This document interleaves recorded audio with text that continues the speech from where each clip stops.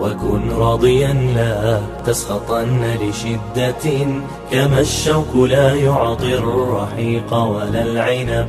إذا المرء لم يرضى بما ربه وهب فلن يغنه مال وإن زاد ما كسب فكن راضيا ترضي الإله بأمره.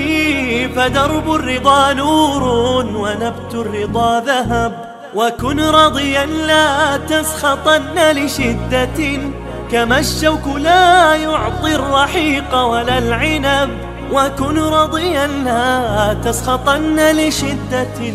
كما الشوك لا يعطي الرحيق ولا العنب. في الإله وشكره فتلك معاني الخير خط بها الأدب.